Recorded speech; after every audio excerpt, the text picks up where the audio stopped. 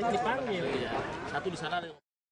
Sebanyak 11 bedeng yang menutupi saluran dan berada di dua wilayah, yakni 9 bedeng di Kelurahan Kalibata, Kecamatan Pancoran, dan dua bedeng di Kelurahan Pejaten Barat, Kecamatan Pasar Minggu, Jakarta Selatan, dibongkar petugas Satuan Polisi Pamong Praja atau Satpol PP Senin 7 Maret 2016.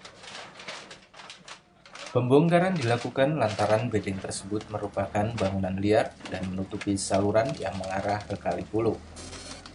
Pantauan berita Jakarta TV, proses penertiban yang dipimpin langsung Wakil Wali Kota Jakarta Selatan, Irman Syah ini berjalan kondusif. Tampak puluhan Satpol PP membantu membongkar bedeng-bedeng milik warga yang sebelumnya dijadikan tempat tinggal dan menampung barang bekas. Selain itu, satu unit alat berat dikerahkan untuk mempercepat proses pembongkaran.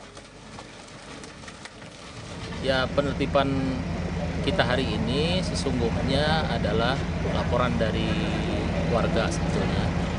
Terus kemudian juga memang kita perlu untuk melihat kembali, membersihkan semua yang terkait dengan saluran-saluran.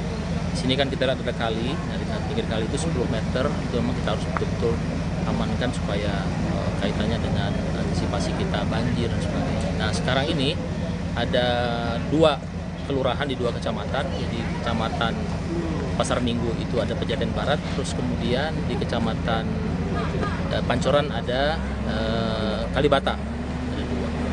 Sembilan milik yang di milik bedeng ya, yang dimasuki Pancoran, kemudian yang dua lagi ada di Pejaten Barat. Alhamdulillah sudah mereka bongkar sendiri. Sekarang ini kita tinggal membantu untuk mulai membersihkan. Ya, membersihkan, PPSU membantu membersihkan. Sementara ada beberapa dua tiga rumah yang masih sementara kita bongkar ada di belakang ini.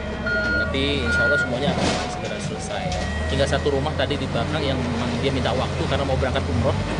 Saya beri waktu sampai dengan pulang umroh nanti dia akan bongkar sendiri. Jadi pada prinsipnya alhamdulillah hari ini tidak ada masalah-masalah yang berarti semuanya bisa berjalan dengan lancar untuk penerbitan pada hari uh, bedeng-bedeng ini sendiri menempati lahan Pemprov DKI atau memang gimana Pak? Kalau di sepanjang sungai itu, kali itu kan memang merupakan tanah negara.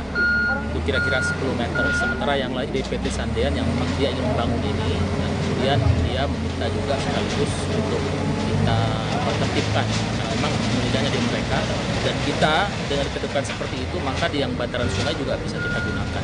Yang 10 meter tadi, yang di sebelah sisi sebelah sini ya. Ini apa rencana apa ke depan Pak?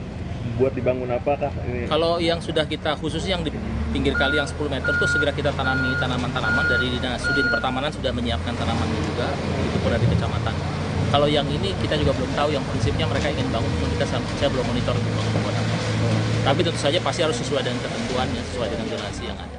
Dari Jakarta Selatan, Desri Arvin memberitakan.